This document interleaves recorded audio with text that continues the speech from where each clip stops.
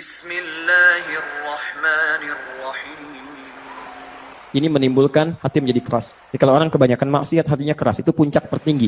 Mata itu kan fungsinya lihat yang baik. Kalau Anda gunakan menyimpang dari sini untuk melihat yang buruk, maka mata ini tidak akan peka lagi untuk melihat yang baik. Orang yang biasa melihat acara yang buruk, tidak akan ada sentuhan ketika melihat acara yang baik. أفمن شرح الله صدره للإسلام فهو على نور من ربه فويل للقاسية قلوبهم من ذكر الله.